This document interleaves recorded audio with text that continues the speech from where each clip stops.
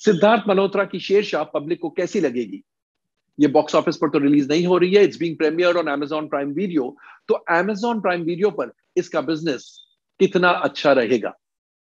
Welcome to Komal Nahta official आप समझ ही गए होंगे, इस वीडियो में हम रिव्यू करने वाले हैं फ़िल्म शेरशाह को. लेकिन सबसे पहले आपको याद दिला दूँ, अगर आपने अभी तक हमारे चैनल को सब्सक्राइब ना किया हो तो इस वीडियो को देखने के बाद ज़रूर कीजिए।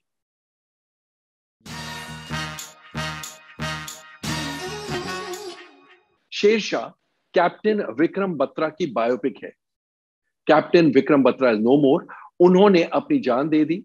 He became a martyr in the Kargil war of 1999 आपको याद दिला दूँ 1999 में पाकिस्तान और इंडिया के बीच वॉर छिड़ गया था और विक्रम बत्रा उस समय नए नए फौज में भर्ती हुए थे। उन्हें एक ऐसा मिशन सौंपा गया था जो शायद इम्पॉसिबल लग रहा था। लेकिन विक्रम बत्रा और हमारे आर्मी मैन अन्य आर्मी मैन ने ना सिर्फ़ वहाँ पहुंचकर पाकिस्तानियों को मुँह तोड़ जवाब दिया but point four eight seven five का कब्जा भी कर लिया। एंड उसी कारगिल वॉर में विक्रम बत्रा मार्टर बन गए, यानी वो शहीद हो गए। विक्रम बत्रा की ये तो प्रोफेशनल कहानी है। इसके अलावा इस फ़िल्म में उनकी पर्सनल स्टोरी भी है। विक्रम बत्रा के एक ट्विन ब्रदर थे, Vishal Batra. Both played by Siddharth Malhotra. और बचपन से ही विक्रम बत्रा को फौज में भर्ती होना था। उनका सपना था कि वो आर्मी मैन बनेंगे। कॉलेज में उन्हें एक लड़की डिम्पल डिम्पल चीमा, यानी कियारा अडवाणी से मोहब्बत हो जाती है। डिम्पल भी विक्रम से प्यार करने लगती है, लेकिन डिम्पल के पापा इस रिश्ते से खुश नहीं है, क्योंकि जहाँ डिम्पल सिख है, सरदारनी है, वहीं विक्रम बत्रा पंजाबी है। लेकिन दोनों में इतना गहरा प्यार है कि वो एक दूसरे के बिना रह ही नहीं सकते हैं। खैर, इस दौरान विक्रम बत्रा का बचपन का सपना पूरा हो जाता है और वो फौज में भर्ती हो जाते हैं। भर्ती होते ही वो अपने सीनियर्स को बहुत इंप्रेस करते हैं अपनी डेयर डेवलरी से और धीरे धीरे वो सबका दिल जीतने लगते हैं। अब दोनों डिम्पल और विक्रम एक दूसरे से मोहब्बत करते हैं। एक बार जब विक्रम बत्रा अपने घर आते हैं जहाँ वो आर्मी में भर्ती है, वहाँ से घर आते हैं तो डिम्पल से भी मिलते हैं और वहाँ वो डिम्पल से चुपके से शादी कर लेते हैं गुरुद्वारे में। और फिर ये कहकर निकल लेते हैं कि मैं आऊँगा और वापस हिंदू राइट्स से हम शादी करेंगे। ऑब्वियसली डिम्पल और विक्रम की ये शादी इज़ अ सीक्रेट पाकिस्तान और इंडिया के बीच में वॉर छिड़ जाती है और उस वॉर में Vikram is at the forefront क्योंकि ये बहुत ही जाबाज आर्मी मैन है, बहुत ही डेयर डेवल इंसान है। और जैसा मैंने पहले भी समझाया point four eight seven five को कैप्चर करने के लिए विक्रम बत्रा और एक और कैप्टन को भेजा जाता है। एंड उस पॉइंट को कैप्चर करने में जो दिलेरी विक्रम बत्रा दिखाते हैं और जो दिलेरी से वो लड़ते हैं, वो काबिल तारीफ़ है। लेकिन अफसोस, उस वॉर में ही विक्रम बत्रा की मृत्यु हो जाती है। एंड विक्रम बत्रा को परम वीर चक्र से which is the highest honour for an army man उससे नवाजा जाता है और उस परमवीर चक्र को एक्सेप्ट करने के लिए विक्रम बत्रा के पिताजी पहुँच जाते हैं तो ये कहानी है सारांश में यानी विक्रम बत्रा की family life romantic life and of course professional life तो आइए सबसे पहले डाइसेक्ट करते हैं या यू कहिए एनालाइज करते हैं इस फ़िल्म की story screenplay and dialogues को इस फ़िल्म को लिखा है संदीप श्रीवास्तव ने स्टोरी स्क्रीन प्ले डायलॉग्स यानी कथा पटकथा और संवादों को संदीप श्रीवास्तव ने लिखा है। स्टोरी तो रियल लाइफ इंसिडेंट्स पर आधारित है और इसलिए उसके बारे में कुछ ज़्यादा कमेंट करना ठीक नहीं होगा, लेकिन ये ज़रूर कहेंगे कि बहुत सारे फैसेट्स को ऐसे नहीं पेश किया गया है जिससे कि ऑडियंस को मज़ा आए। फॉर इंस्टेंस विक्रम बत्रा की उनके फैमिली के साथ क्या बॉन्डिंग थी, क्या इमोशनल बॉन्डिंग थी, ये बहुत कम सीन्स में दिखाया गया है। सिमिलरली डिम्पल के साथ जो उनका रोमांस शुरू होता है और ब्लॉसम होता है तो कोई भी रोमांटिक टेल में लड़के और लड़की के बीच में जो बॉन्ड बन जाता है, उसका कुछ मज़ा ही और होता है। लेकिन ये बॉन्ड भी, ये इमोशनल कनेक्ट भी बहुत ज़्यादा नहीं दिखाया गया है जो दिल को छू ले। एंड जो प्रोफेशनल काम है उनका, यानी आर्मी में लड़ना एज एन आर्मी मैन लड़ना ऑफ़ कोर्स वो दिलेरी तो बहुत इंप्रेसिव है, लेकिन उन वॉर सीन्स में भी जो एक पेट्रियोटिक फीलिंग एक पेट्रियोटिक फर्वर पैदा होना चाहिए, वो नहीं होता है। इस प्रकार की कहानी में, जहाँ पर एक दिलेर आर्मी मैन एक यंग एज में मार्टर हो जाता है, और किस हिसाब से मार्टर होता है, वो आप फ़िल्म देखेंगे, तब आपको पता चलेगा। तो इस प्रकार की कहानी में आपको बहुत बहुत ज़्यादा रोना आना चाहिए, लेकिन इस फ़िल्म में रोना इतना नहीं आता है।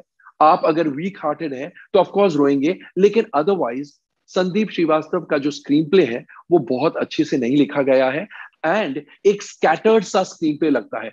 अदरवाइज़ विक्रम बत्रा जैसे दिलेर आर्मी मैन की कहानी, परमवीर चक्र से उन्हें नवाजा गया, और इतनी कम उम्र में उन्होंने अपनी जान दे डाली। That also fighting for the motherland and अपने कलीग को बचाकर खुद की जान दे डाली। बहुत ज़्यादा सेक्रीफाइस की बात है। और उस कहानी में आपको बाल्टियाँ भर भर के रोना ना आए तो फिर कुछ तो गड़बड़ है राइटिंग में। जहाँ तक संदीप श्रीवास्तव के डायलॉग्स का सवाल है, इस प्रकार की फ़िल्म में अगेन हम इस प्रकार की कहानी की बात कर रहे हैं, इस प्रकार की फ़िल्म में कम से कम दस या पंद्रह जगह पर सीटियाँ और तालियाँ बजने वाले डायलॉग्स होने चाहिए थे। लेकिन कुछ डायलॉग्स अच्छे हैं, बाकी डायलॉग्स बहुत ज़्यादा फायरी नहीं है, बहुत ज़्यादा एक्साइटमेंट पैदा करने वाले नहीं है। तो ये तो ही बात राइटिंग की। आइए अब एक नज़र डालते हैं एक्टर्स के परफॉर्मेंसेस पर।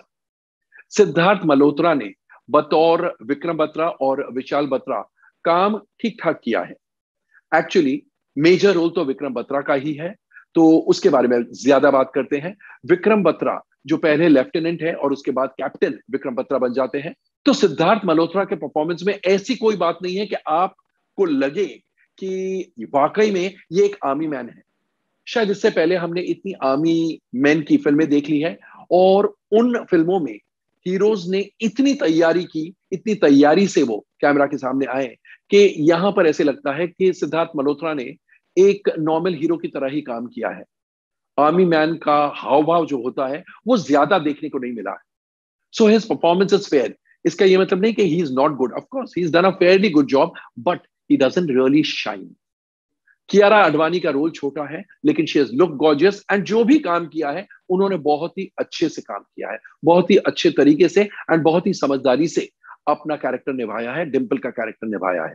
संदीप जामवाल की भूमिका में Shiv Pandit is very good and lieutenant colonel Y K Joshi के रोल में शताफ फिगर इज़ गुड अनिल चरणजीत जो कि सूबेदार बंसीलाल शर्मा बने हैं, छोटा रोल है, लेकिन he makes his presence amplified Sahil Ved जो विक्रम बत्रा के गहरे दोस्त सनी बने हैं, छोटा सा रोल है। Is a very fine actor लेकिन इतना छोटा रोल है कि उन्हें करने के लिए कुछ बहुत ज़्यादा नहीं है बट जो भी किया है, अच्छे से किया है। पवन चोपड़ा और विजय मीनू, जो विक्रम बत्रा के पेरेंट्स बने हैं, और विजय जे आनंद और किरण आर्या, जो डिम्पल के पेरेंट्स की भूमिका निभा रहे हैं, चारों ने अच्छा सपोर्ट लैंड किया है। Afnan Ashiya as Arsalan and Zahoor Zaidi as Gafoor both are good Haider की भूमिका में मीर सरवर अफरोज की भूमिका में साहिल राठौड़ अताउल्ला की भूमिका में डेविड ब्राउन और मोना की भूमिका में मनमीत कौर, इन्होंने बहुत ही बढ़िया सपोर्ट लैंड किया है। एंड छोटे विक्रम बत्रा की भूमिका में कृष्णा टुटेजा एंड छोटे विशाल बत्रा की भूमिका में कवाई Tuteja both of them are very cute तो ये तो ही बात एक्टर्स की ऑफ़ कोर्स और भी बहुत सारे एक्टर्स हैं जिन्होंने अपना अपना काम सही अंदाज में किया है। तो अब एक नज़र डालते हैं डायरेक्शन और अन्य टेक्निकल एस्पेक्ट्स पर। विष्णु वर्धन के डायरेक्शन में, यानी निर्देशन में ये फ़िल्म बनी है और उनका निर्देशन, हम ये कह सकते हैं, बहुत ही सोसो है ऑर्डिनरी है, क्योंकि इस प्रकार की फ़िल्म को सेंसिटिव हैंडलिंग की ज़रूरत थी। जैसा हमने पहले भी कहा इमोशनल कनेक्ट नहीं होता है इमोशंस के अंडरकरंट कम है पेट्रियोटिज्म वाली भावना जागरूक नहीं होती है एंड बहुत स्कैटर्ड नरेशन है writing as well as narrative is scattered तो ये फॉल्ट है विष्णुवर्धन डायरेक्टर की। फ़िल्म में संगीत अलग अलग म्यूज़िक डायरेक्टर्स का है। Raataan Lambiyan is the best song it is compose and written by Tanishk Bagchi उसके अलावा जय हिंद की सेना written by Manoj Muntashir and music is compose by Vikram Montrose and Ranjha lyrics by Anita Datt and compose by Jasleen Royal these two are also appealing numbers of course बाकी जो गाने हैं they are also good quite good एक गाने का music compose किया है B प्राक और जानी ने और दूसरे गाने का म्यूज़िक है by Javed Mohsin and the first song lyrics are by Jaani and the second songs lyrics are by Rashmi Virag गानों की choreography could have been much better the background music by John Stuart Eduri needed to be better ताकि emotional appeal और जो patriotic flavour जो है, वो खिल के आता, उभर कर आता। फ़िल्म में सिनेमाटोग्राफी यानी कैमरा वर्क कमलजीत नेगी का है, जो कि बहुत ही बढ़िया है। एक्शन सीन्स और स्टंट्स को कोरियोग्राफ किया है स्टीफन रिक्टर और सुनील रॉड्रिक्स ने, जो भी बहुत अपीलिंग है, बहुत एक्साइटिंग है। और प्रोडक्शन डिज़ाइनिंग अमित रे और सुब्रता चक्रवर्ती का है और आर्ट डायरेक्शन अभिजीत घोष और विनायक जोशी का है। दोनों अच्छे हैं और ए सीकर प्रसाद की एडिटिंग ठीक ठाक है। तो ओवरऑल शेर शाह एक बहुत ही औसत किस्म की फ़िल्म है। अगर ये बॉक्स ऑफ़िस पर रिलीज़ होती, यानी सिनेमा घरों में रिलीज़ होती तो ये खास बिज़नेस नहीं कर पाती। ये फ़िल्म आज, यानी 12 अगस्त को रिलीज़ हो रही है ऑन एमेजॉन प्राइम वीडियो तो दोस्तों, कैसा लगा हमारा review of Sher Shah? Comment section में जाकर अपने कमेंट ज़रूर पोस्ट कीजिएगा। एंड अगर आपने भी फ़िल्म देखी है तो हमें यह भी बताइएगा कि आपको फ़िल्म कैसी लगी और फ़िल्म में क्या अच्छा लगा। थैंक यू शुक्रिया। और जैसा मैं हमेशा इन दिनों कहता हूँ stay safe stay relevant, and yes, you said it. Stay tuned.